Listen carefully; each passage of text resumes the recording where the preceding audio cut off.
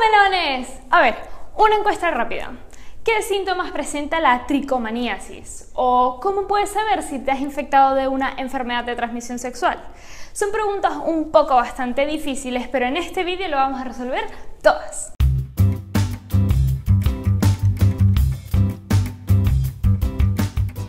Primero de todo, ¿qué son las ETS? Son enfermedades que se transmiten de una persona a otra por el contacto con fluidos o con llagas que puedan estar infectadas por la enfermedad. Lo mejor es que hay una manera de prevenirlas y no contagiarte. Es protegiéndote con el uso de un preservativo en caso de que seas heterosexual o que seas gay y de protectores de látex en caso de que seas lesbiana. Así que chicos y chicas, recordad, protegeros es la mejor manera para prevenir las enfermedades de transmisión sexual. Y sabiendo todo esto, ¿cómo podemos saber si nos hemos infectado o no de una enfermedad de transmisión sexual? Bien, si tienes ardor al orinar, si detectas en tu zona genital verrugas, llagas o si tienes picores en la zona vaginal y también si tienes molestias al tener relaciones sexuales, pueden ser indicios de que a lo mejor te hayas contagiado. Así que, si sientes y si detectas alguno de estos síntomas, te recomendamos que vayas a tu médico de cabecera lo más pronto posible para detectar si tienes una enfermedad de transmisión sexual o simplemente mm, es otra cosa. Ahora sí, vamos a conocer las principales enfermedades de transmisión sexual. Número 1, VIH. Esta enfermedad infecta a las células del sistema inmunológico y las destruye, dejando al cuerpo totalmente desprotegido para el resto de infecciones y enfermedades.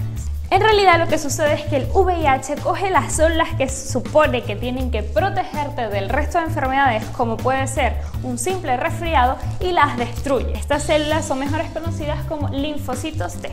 Y cuando el infectado de VIH desarrolla una serie de enfermedades, se considera que tiene SIDA, es decir, el síndrome de inmunodeficiencia adquirido.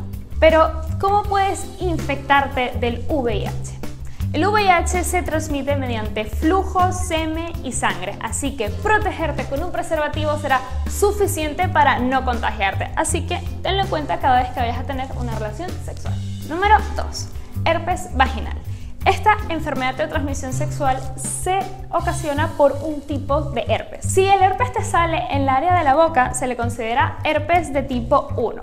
Y en cambio, si el herpes te sale en las zonas genitales, se le considera herpes tipo 2. Los síntomas suelen ser malestar, fiebre, picazón y la aparición de llagas en los labios vaginales, el pene, el ano e incluso los muslos. Lo bueno de esta enfermedad de transmisión sexual es que los síntomas desaparecen pasadas unas tres semanas después del tratamiento. Tricomaniasis. Esta enfermedad de transmisión sexual es muy común. En las mujeres suele afectar a las células de la vagina y la uretra, al igual que en los hombres, que también afecta en su uretra. Aunque esta enfermedad solamente suele presentar síntomas en un 30% de los afectados, sus síntomas pueden ser en las mujeres picazón y o ardor al orinar, dolor intenso al tener relaciones sexuales, molestias en el abdomen cuando se tienen relaciones sexuales, y flujo de mal olor o de color blanquecino. Y en los hombres presenta líquido en la uretra, dolor o ardor al orinar y también inflamación del glande o del prepucio.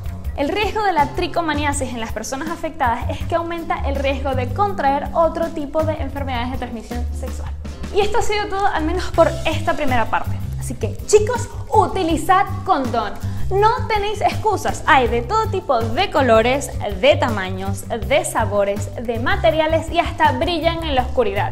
Recordad que protegeros es la mejor manera de prevenir las enfermedades de transmisión sexual. Muchísimas gracias por ver este vídeo, manita arriba si os ha gustado y recordad que todas vuestras dudas las podéis dejar en la sección de comentarios.